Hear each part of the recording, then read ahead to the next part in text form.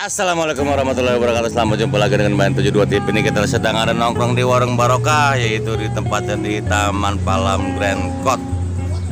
Ini kita ketemu tamu atau ya tamu-tamu kopi ya. Uh, Boleh kenalan siapa namanya? Tiwi. Tiwi ya. Wih dari mana Wi? dari Kalideres. Oh, udah kalau terus Terus banget itu kalinya. Oke saya, sekarang saya tanya aja mau tanda ya. Ah, Wi. Wi hmm,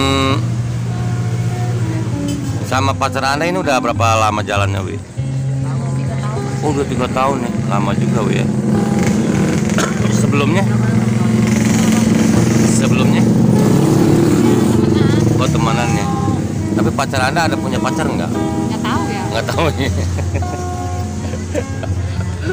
Nggak tahu Kenapa kok anda nggak tahu? Pernah anda dekat? Ya kan itu sisi lainnya mungkin untuk diumpetin atau gimana gitu. Oh gitu ya. Ngomong-ngomong, ada rencana nikah nggak? Lulus kuliah dulu sih. Oh, lulus kuliah dulu. Oh, Anda sekarang kuliah. Kuliah di mana? Trisakti. Oh, Trisakti. Mantap. Saya dulu di oh jauh saya jauh-jauh. Udah lama sih. Ya lulus tahun 9 96 ya. 96. Wih, selama Anda jalan pacaran itu paling happy, paling enak di mana, Wih?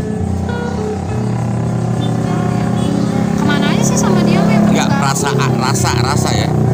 Rasa. Nggak apa-apa ya, kita fokus aja ya, nanya-nanya ya. Rasa gimana tuh maksudnya? Ah, perasaan Anda itu bagaimana selama pacaran selama tiga tahun itu? Bahagia, ya? Bahagia pacaran apa bahagia tidak pacaran? pacaran sih. Pacaran. Pernah putus itu sakitnya gitu. Oh, pernah disakitin sama pacar Anda sekarang? Apa yang apa yang dulu-dulu gitu? Pernah ya. Pernah sama dia juga pernah. Itu kenapa tuh bisa-bisa begitu kenapa?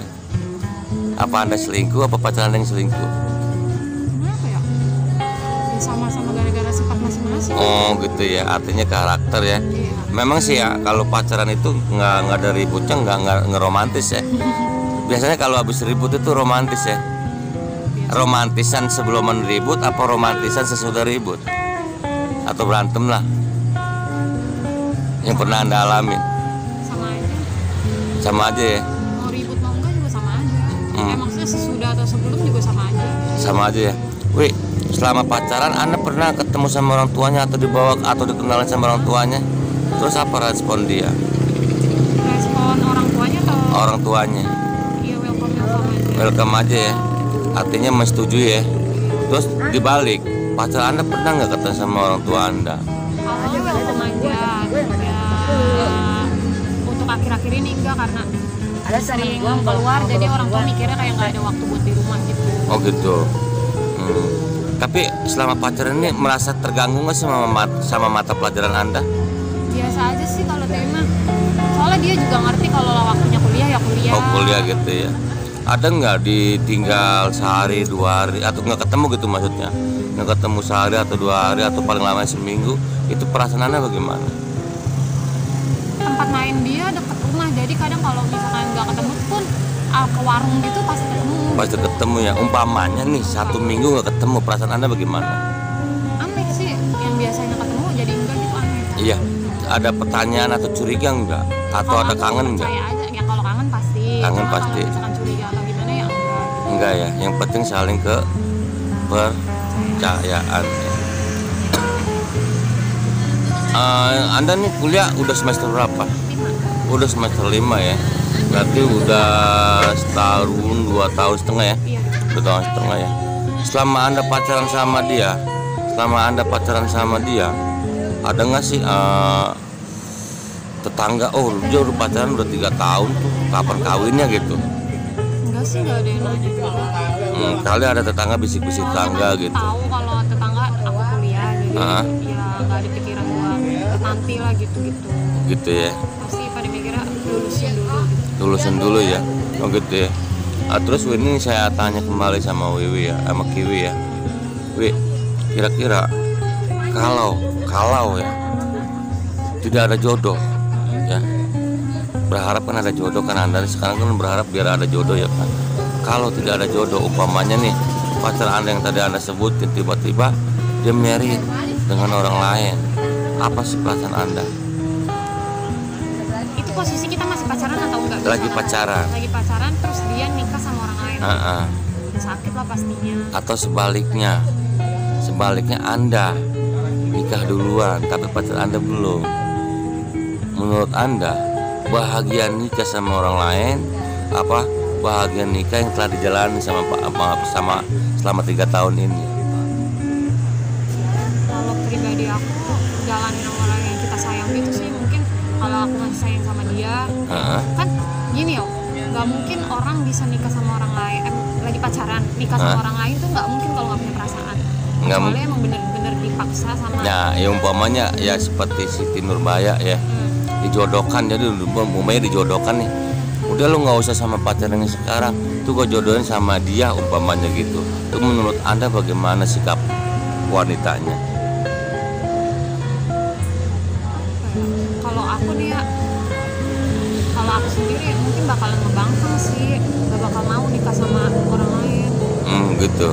Terus kalau orang tua anda tidak setuju dengan pacar anda? Kabur kali. Apa namanya? Ka- kawin lari. kawin hari kawin lari. Kawin hari kawin lari. Kawin hari kawin lari. Sebenarnya kawin lari itu bahasa apa sih kawin lari itu Hah? Karena mungkin pikirnya kayak kawin lari apa namanya nikah secara diam-diam atau gimana gitu. oh gitu ya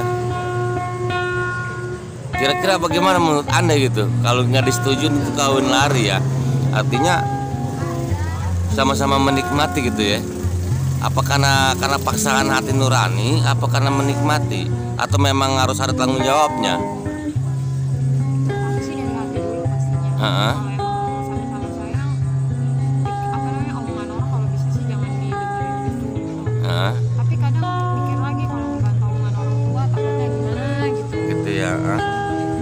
tapi ada nggak selama ini anda domelin gitu sama orang tua anda untuk pacaran ini Jujur emang belum boleh pacaran sih. Hah? Tapi ya namanya masih muda ya pengennya jalanin aja gitu. Jalanin. Pengen pacaran atau gimana gitu ya Hmm. terus kalau pacarannya dia dia kerja apa kuliah kerja. kerja ya udah istilahnya udah mapan lah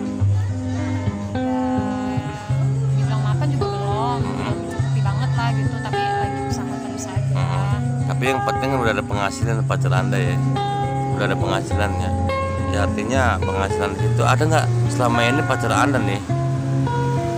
Maaf maaf. Selama ini pacar anda pernah nggak eh, lu udah nggak usah minta lagi sama orang tua lu? Udah biar kuliah gue yang tanggung jawab ada nggak kata-kata itu keluar? Maksudnya gimana? Istilahnya dibiayain sama pacar anda gitu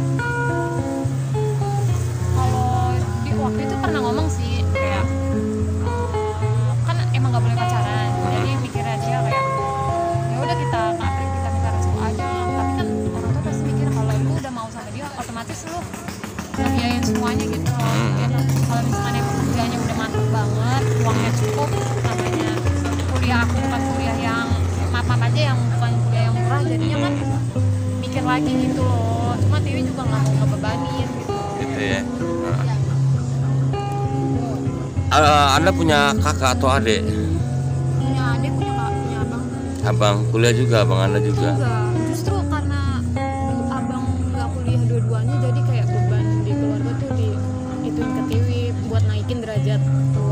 oh gitu ya. Terus ada nggak sih eh, maaf ya. Ah kayaknya setahun lagi deh gue meritnya sambil kuliah tuh bagaimana? Nggak ada pikiran sih. Nggak ada pikiran kan itu belum ada kepikiran. belum belum kepikiran ya? pikirnya harus lulus dulu. Harus lulus dulu ya. harus lulus dulu. Terus ada nggak niat pacar anda gitu? Gimana? Pacar anda ada niatnya udah yuk kita merit aja dulu gitu? Enggak sih dia juga ngedukung aku. Ngedukung ya? Buat iya aslinya pacar anda tuh ngedukung banget ya. Bagaikan orang tua anda juga gitu ya. Ya sebenarnya orang tua itu agak ngeri apa bagaimana sih? Menurut anda selama ini lihat raut wajah orang tua anda? Iya tak pikirnya sih kalau pacaran takut ngeganggu kuliah gitu. Ya itu yang dikhawatirkan sama orang tua. Tapi selama ini? Ya biasa-biasa aja biasa-biasa aja ya. Yang nah terus nah, ini pertanyaan yang terakhir buat Dewi. Ya Wi umpamanya nih Wi umpamanya ya pacar anda kan sekarang kerja terus tiba-tiba maaf ya ada bos ada bos ada bos punya perusahaan yang sangat udah mapan banget lah. Entah itu moral dan moral entah itu rumah ataupun kekayaannya melebihi dari pacar anda. Ada nggak? Ada niat berbalik nggak bukannya ngebanggain diri sendiri Ah. atau gimana sebenarnya banyak yang deketin dewe yang kiranya cukup lah buat ngituin dewe Ah. tapi dewe nggak nggak gimana ya nggak nggak ngarepin banyak gitu loh Hmm. dia yang begitu aja dewe terima gitu loh Ah.